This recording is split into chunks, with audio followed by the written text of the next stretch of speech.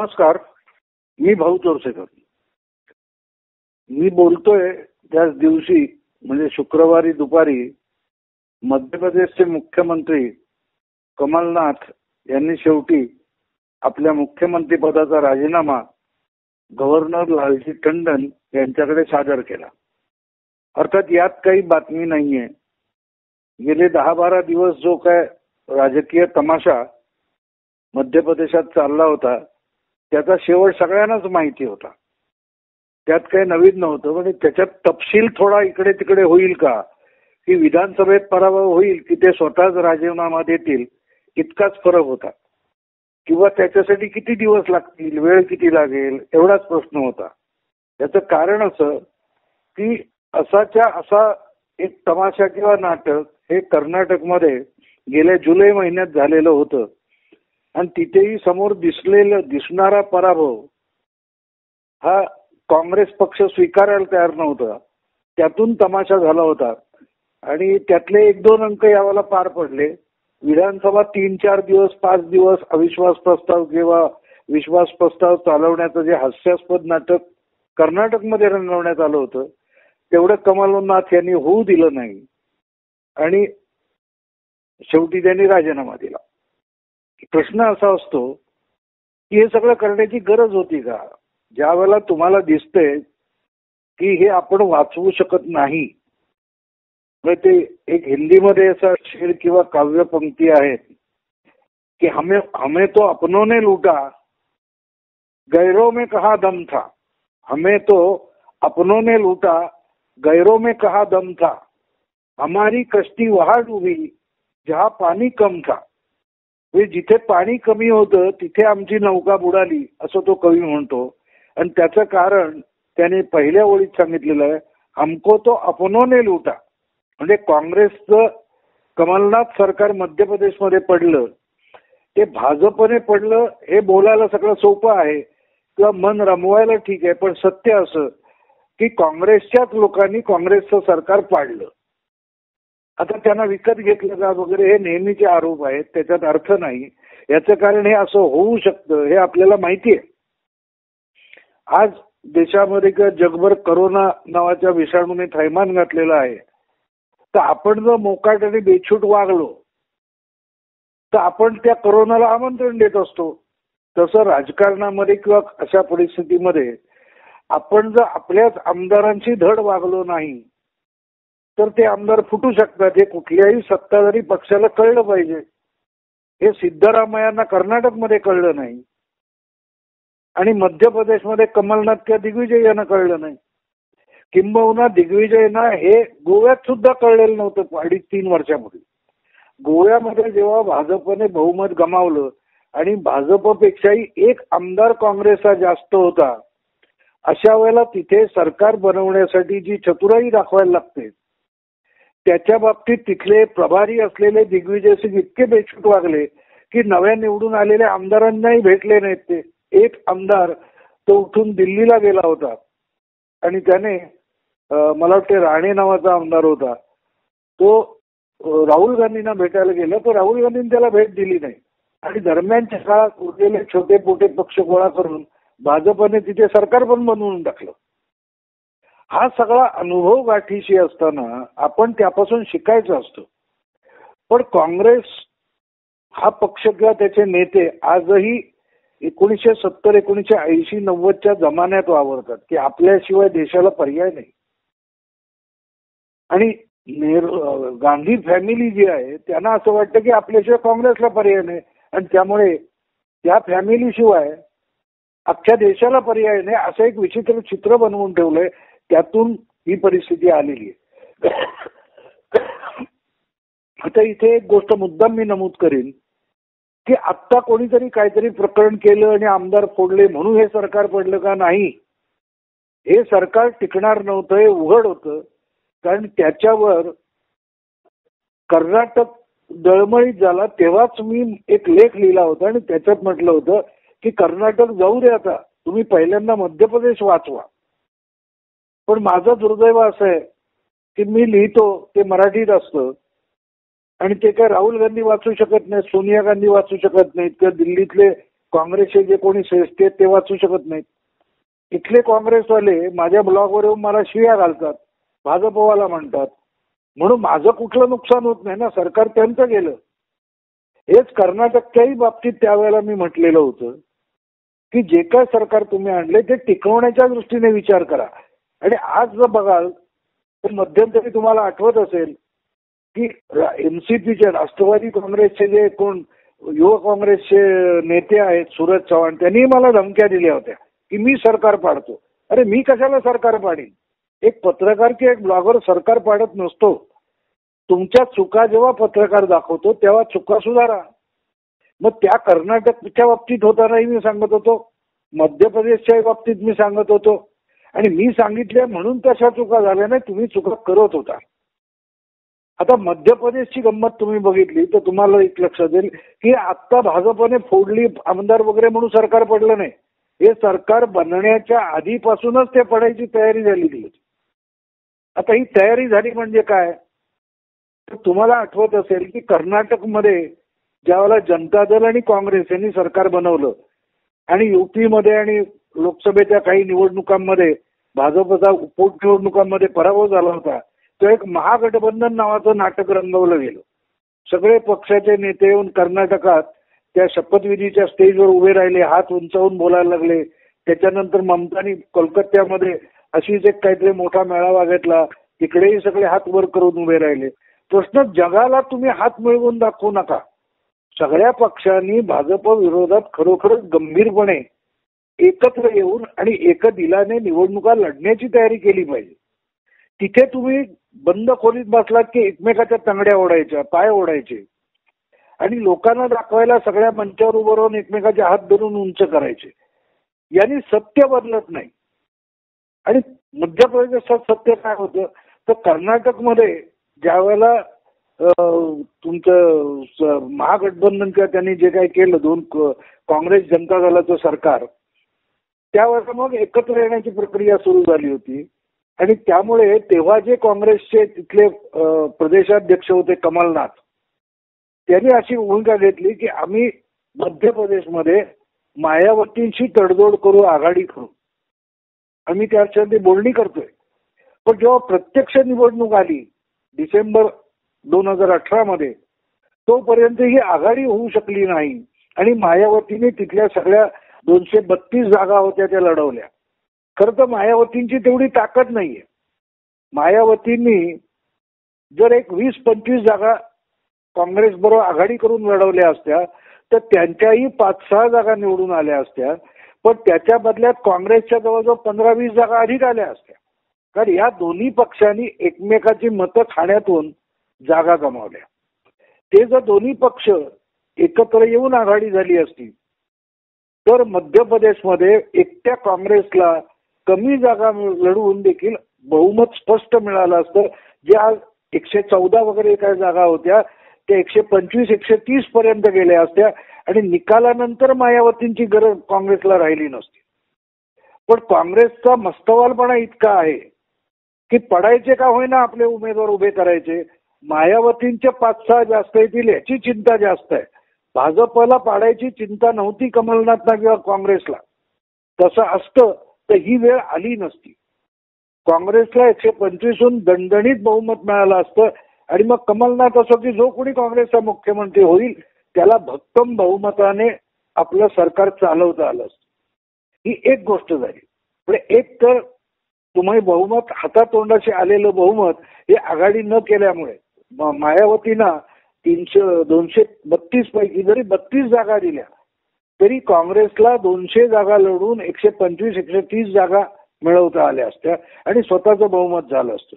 ते नाही झालं त्यानंतर देखील ज्या काही जागा कमी पडतात त्या मायावतींचे दोन आमदार आणि समाजवादी पक्षाचा एक आमदार घेऊन बहुमत दाखवून हे सरकार बनलं. ते बनल्यानंतर देखील त्या पक्षांची झुंज घ्यावं त्या मायावती सारख्या कमलनाथना शिव्या घालायच्या कारण हे लोक आम्हाला किंमत देत नाहीत अमुक नाही तमुक आहे हे झालं बाहेरचं. पण काँग्रेसच्या आतमध्ये दिग्विजय सिंग कमलनाथ विजय ज्योतिरादित्य शिंदे असे गट होते. हे गट एकमेकावर कुरघोडी करत होते.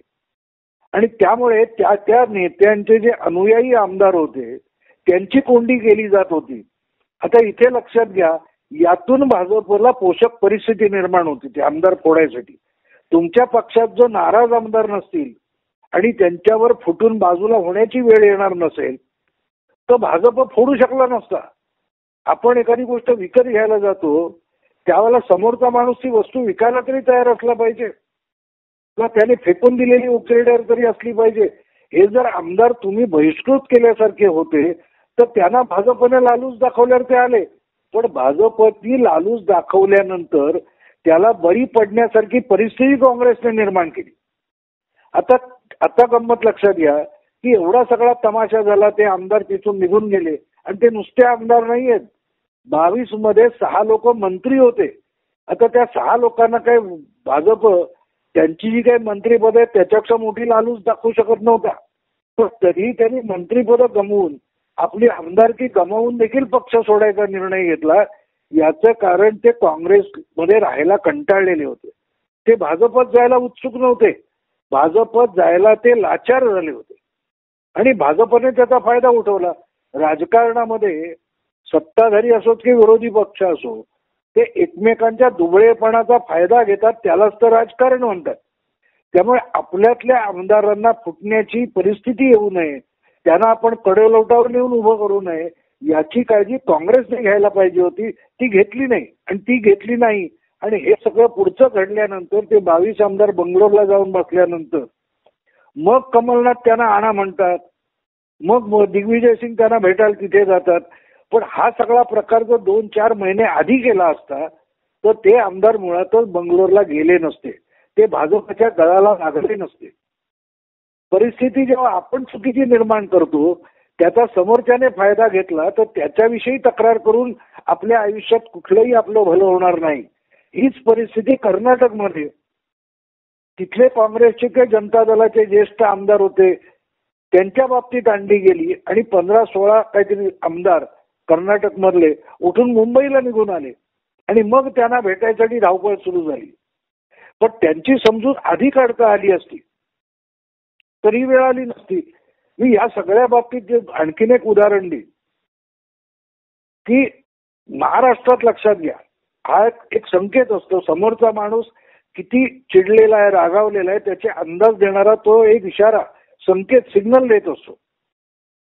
महाराष्ट्र विधानसभेचे निकाल लागल्यानंतर तात्काळ जी पत्रकार परिषद उद्धव ठाकरेंनी घेतली होती त्यावेळेला त्यांनी स्पष्ट सांगितलं होतं. की आम्हाला मुख्यमंत्रीपद मिळालं पाहिजे निदान अडीच वर्षासाठी मिळालं पाहिजे. आणि नाही तर आम्ही कुठल्याही टोकाला जाऊ आम्हाला सगळे पर्याय खुले आहेत असं ज्या वेळेला उद्धव ठाकरे म्हणतात तेव्हा ते युती मोडून जाऊ शकतील हा तो इशारा होता. हा भाजपच्या महाराष्ट्रातील नेतृत्वाला कळला नाही भाजपच्या केंद्रीय नेतृत्वाला कळला नाही आणि उद्धव ठाकरे महायुती मोडून दोन्ही काँग्रेसच्या गोटात निघून गेले. आज भाजप त्याची किंमत मोजतोय. भाजपला विरोधी पक्षात बसावं लागले महाराष्ट्र विधानसभेत. त्याचं कारण ते त्यांना तो सिग्नलचा संकेत कळला नाही. अगदी तशीच्या तशी इथे तरी भाजप आणि शिवसेना हे दोन वेगळे पक्ष होते. पण मध्य प्रदेशमध्ये एकाच पक्षातले तीन नेत्यांचे तीन गट होते आणि त्यातला एक गट फुटला. आणि असं म्हणतात की त्या बावीस आमदार आमदारामध्ये फार तर आठ ते दहा शिंदे यांच्या गटाचे होते. बाकीचे बारा पंधरा तर दिग्विजय आणि कमलनाथ यांच्यावरच गटातलेच होते आणि त्यांच्यावरच नाराज होते. पण त्यांना चुचकारणं त्यांची समजूत घालणं हे काम हे कोणी करायला पाहिजे होतं? हे भाजप नाही करणार. हे तुम्हाला करायला पाहिजे. ते तुम्ही केलं नाही. आणि त्यामुळे ही परिस्थिती आली. आता मुद्दा असा की ती परिस्थिती आल्यानंतर ठीक आहे मी म्हणेन की आता मध्य प्रदेश गेला तर तो जाऊ द्यायचा होता पुढला तमाशा करायला नको होता. किंवा कर्नाटकच्या अनुभवातून तुम्ही मध्य प्रदेशात ती तेच नाटक पुन्हा होऊ नये म्हणून करायला पाहिजे. ते ते केलेलं नाही. त्याच्याऐवजी हा जेव्हा तमाशा करता आणि तुम्ही त्याच्यात सगळी शक्ती लावता त्यावेळेला तुम्ही उरलेल्या राज्यातल्या काँग्रेस पक्षाकडे दुर्लक्ष करत असतात आणि माझा इशारा सरळ सरळ महाराष्ट्र आणि राजस्थानकडे. राजस्थानमध्ये सुद्धा हाच नाट्यप्रयोग होऊ शकतो. मध्य महाराष्ट्रात सुद्धा होऊ शकतो. आणि म्हणून मला आठवतं गेल्या दहा दिवसापूर्वी ज्यावेळेला हे सगळं मध्य प्रदेशातलं नाट्य सुरू झालं त्या महाराष्ट्रातली युती फोडून तीन पक्षांचं सरकार आणणारे जे महाविकास आघाडीचे जनक शरद पवार यांनी एक विधान केलं होतं की महाराष्ट्रात असं काय होणार नाही. महाराष्ट्रात सरकार चालेल. आणि मध्य प्रदेशात सुद्धा तख्ता पलट किंवा सत्तांतर होणार नाही. कारण कमलनाथ हे मुरब्बी राजकारणी आहेत आणि ते याही परिस्थितीत सरकार टिकवून दाखवतील. आता मला सांगा की कमलनाथ यांनी जो काय पोरकटपणा केला त्याला जर शरद पवार मुरब्बी म्हणत असतील तर महाराष्ट्रात ते शरद पवारांना मुरब्बी राजकारणी मानलं जातं. म्हणजे कमलनाथांच्या चुका किंवा मूर्खपणाला जर पवार मुरब्बीपणा म्हणत असतील तर पवारांच्या नेतृत्वाखालचं महाराष्ट्रातलं महाविकास आघाडी सरकार आज धोक्यात आहे. कारण पवारही मुरब्बी आहेत. जर कमलनाथ त्यांना मुरब्बी वाटत असतील तर तसंच इथे पवार वागू शकतात. आणि तुम्हाला आठवत असेल मित्रांनो मी सतत सांगतोय की हे तीन पक्षांचं सरकार आहे.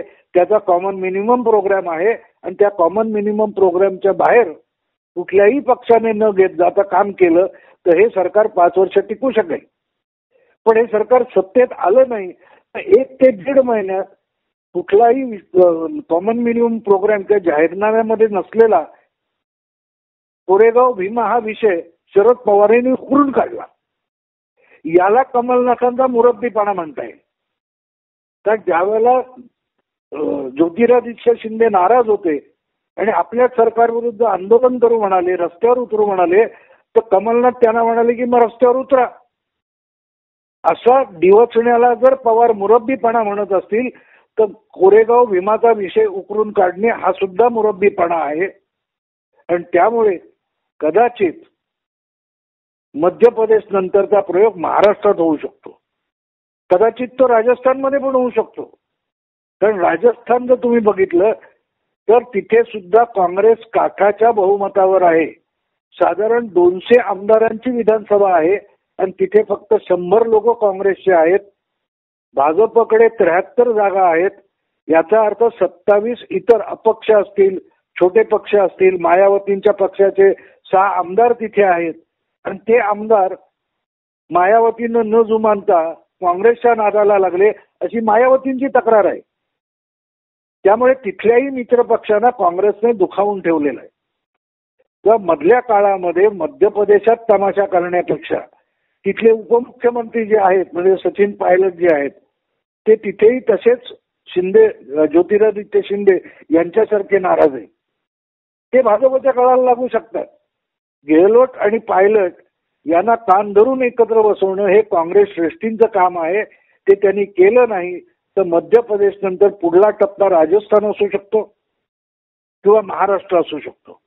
तर प्रश्न असा आहे की भाजपला फोडाफोडी करायची संधी काँग्रेस किंवा राष्ट्रवादी किती देणार याच्यावर इथल्या सरकारांचं भविष्य अवलंबून आहे. का ज्यावेळेला असे सतरा अठरा बावीस बावीस आमदार फुटतात आणि राजीनामे आपल्या आमदारकीचे राजीनामे देऊन विरोधी पक्षाची हातमिळवणी करतात तेव्हा मग महाराष्ट्र असो किंवा राजस्थान असो इथली सरकार धोक्यात असतात.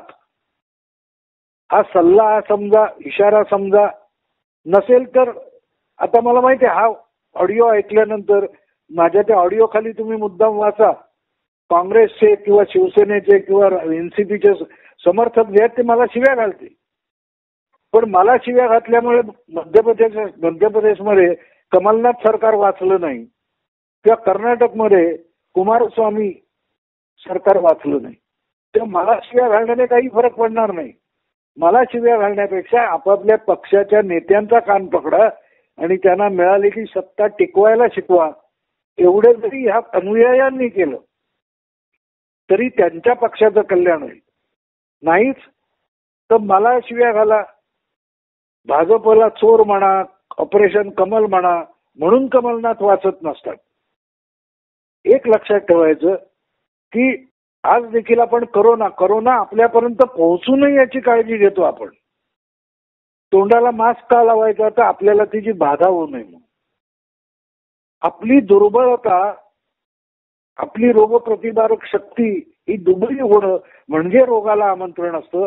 आपला पक्ष आपले आमदार आपले पाठीराखे हे अस्वस्थ आणि नाराज होणं हे आपल्या विरोधी पक्षाला आपल्यात फाटाफूट घडवण्याची संधी असते ती नाकारण्यासाठी जर काँग्रेसने किंवा अन्य विरोधी पक्षांनी बुद्धी लावली त्यासाठी आपली मेहनत केली शक्ती त्या कामी लावली तर त्यांना इतकी वाईट परिस्थिती किंवा अपयश त्यांच्या पद्धती येणार नाही. आज इतकंच. पण जाण्यापूर्वी मित्रांनो मी एक सांगेन की कालच पंतप्रधान नरेंद्र मोदी यांनी रविवारच्या जनता कर्फ्यूचं आवाहन जे केलेलं आहे त्याचं सगळीकडे कौतुक झालेलं आहे. त्याच्यावर मी आत्ता सुद्धा एक वेळा व्हिडिओ करणार आहे. पण मोदींचं कौतुक कशाला झालं ते विसरू नका. त्यातही शेवटी मोदी हे राजकारणी आहेत आणि त्यांचं सगळीकडे जे कौतुक झालंय की त्यांनी पंतप्रधान म्हणून कुठलंही राजकारण जनतेला आवाहन करताना आणलं नाही असं म्हटलं गेलं. मला ते पटलेलं नाही. मला असं वाटतं की नरेंद्र मोदी हे राजकारणी आहेत आणि त्यांनी देशहिताला आवाहन करण्यासाठी जनतेला आवाहन जे केलेलं आहे त्यातही एक छोटस राजकारण आहे पण ते मी आज सांगणार नाही. ते मी जनता कर्फ्यू रविवारी नऊ वाजता संपल्यानंतर त्याविषयीचा ऑडिओ तुम्हाला ऐकायला मिळेल. आता इतकंच. नमस्कार.